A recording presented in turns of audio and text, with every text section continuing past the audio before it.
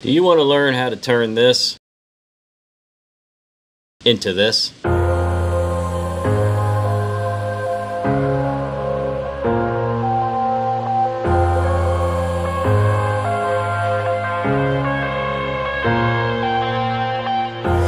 headed to the bottom of the bottle. I've been drowning, I've been floating away. Every other dollar that I got in bed I probably went and it away I okay I ain't liking it, babe I don't even wanna talk I'm just smoking my haze I've been stuck in my ways I've been stuck here for days I've been staring at the clock Well, let me show you how. But first, let me tell you about Filmora's new achievement program. Join the Filmora Achievement Program. Watch this video to learn how to join and earn more rewards. Tip 1 Sign in before you start. Upgrade your Filmora to 12.5.5 and above, and sign in. Then you can check out all information about our achievement program. Tip 2 Stay curious. Click each badge's Learn More button to view its task and rewards. Once unlocked, you can share your milestones on social media. Tip 3 Collect your rewards. Click the My Rewards section to check out all the rewards. You can redeem and review your rewards after unlocking the badges. Join the Filmora Achievement Program to earn badges to unlock your exciting rewards now. Today's video is all about stickers, motion tracking, and keyframing. And that's how I was able to create this crazy effect. There are nine tracks involved here.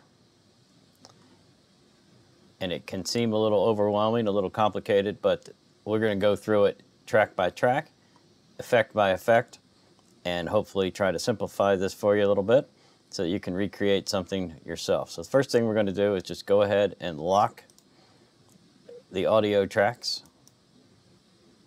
and mute them. We don't need those on right now. Second thing I'm going to do is hide this, but first I want to explain why there's two of them on the screen. This is the track of the karate guy. And the way this motion tracking works is once you apply a motion track to a video clip and attach an element, uh, that's it for that track, you, unless you split it. You can't really do much more on that one. So all I did was create two tracks that were identical. So I can have a motion track here and a motion track here. And if I wanted to add more motion tracking, I would just simply copy this clip and just keep adding them in, as many as I needed. That's how I was able to achieve what I achieved. But for now, we're going to hide that track and lock it, just to get it out of the picture for a second. We're also going to hide this track and lock it. I do like to go through and lock my tracks um, so I don't accidentally move things around while I'm messing with them. So we're going to kind of hide and lock just about everything here except for these. Actually, we'll go ahead and hide and lock that one as well for right now. So this is all we want to see right now. So as we scroll across, blow that out a little bit. As we scroll, scroll across, we need a place to start the first motion track. And what I decided to do was to put this text bubble on the screen and then put a little word in there. So this text bubble is actually motion tracked to his mouth. So it Filmora automatically follows the motion track of his face. And it falls off a little bit. That's pretty common with the motion tracking. You can tweak it, but I kind of like the way it worked out, so I'm not too concerned about it. Now let's look at the track itself. I'll go ahead and just expand that a little bit so you can see that we have a little symbol here. That symbol is the beginning of my motion tracking. I'll get that on the screen for you so you can see it. And then right here to show the target box. And then you can see that I've placed the square uh, pretty much on his mouth, but I left quite a bit out there so that the motion tracking, you, you got to give it a helping hand sometimes. If you make it too small or too big, you might have some problems. So you just got to tweak this around. No big deal. And then I just went ahead and I, I'm not going to do it right now, but I said click tracking. So the first thing it does is it just tracks the movement of the square. So whatever's inside that square, it attempts to track the movement. When you're finished, you go here to link element. Now you have to have an element already on the screen. Uh, you can import one, but it's easier to just throw the element on the screen first. Once it's finished tracking, you just simply link it. Then you place the element where you want it to start, and it'll just follow it around. So see that very first dot? So I stuck the element there just by using my mouse. I just clicked on the element and I just moved it around until where I wanted it. And then motion tracking pretty much took care of the rest for me, as you can see. So that was that. That was the first motion track. Let's get off of that. The second thing I did is I wanted a little fire, a little smoke, I should say, coming off of his hand as his hand came across. So let's let's go back to the uh, motion track for one second. And I'm going to turn that box off. We don't need to see that anymore. And we'll go ahead and hide the little doodle there as well. So let's look for the smoke now. Let's unhide this little puff of smoke here. So I wanted to add a little puff of smoke right there. Now it's very subtle. It's very subtle, and that's what I wanted. I didn't want much reveal going on here. I just wanted a little, and uh, some people maybe maybe not even caught that in the beginning, but um, subconsciously you probably did. That was my intent. So uh, all I did there was just use the puff of smoke, lined it up, I moved it a little off screen, and that was it. I didn't need to keyframe this one. I didn't need to do anything to it because it kind of worked itself out just the way I wanted it. Got lucky on that one.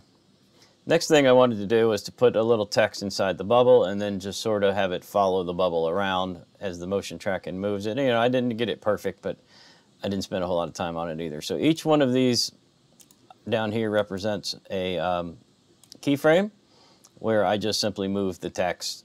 So each time you see one of those little little diamonds, uh, I, I just moved the text around. All I did was just highlight the text, um, turn on the keyframe button here, and then just use the keyboard controls left, right, up, and down, and just kind of jiggled it around, you know, little jiggled it around a little bit until I kept it close to the bubble as I could.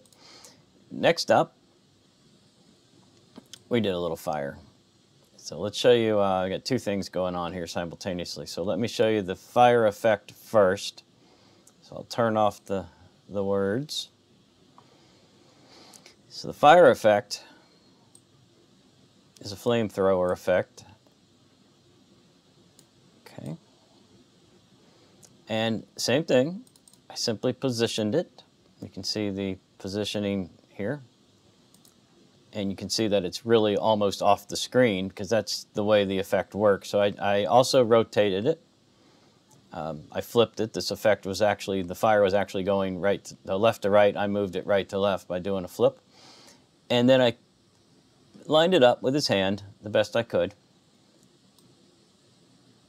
And just let it do its thing. And then right here, I split the flamethrower. So we start fading down the opacity right at the split until it's basically gone off the screen. That's how we achieved that one back up to the top. I know there's a lot going on here. Just go through this a little at a time, pause it, try to recreate what I did, and then pause it again. Up here for the word fire, I chose a pre-made title called Luminance Title 1.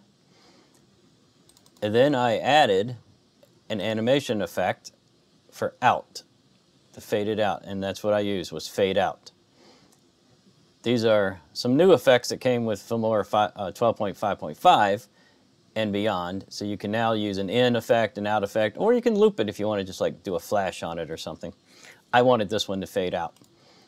And I also cut it shorter than it originally was um, to avoid some movement.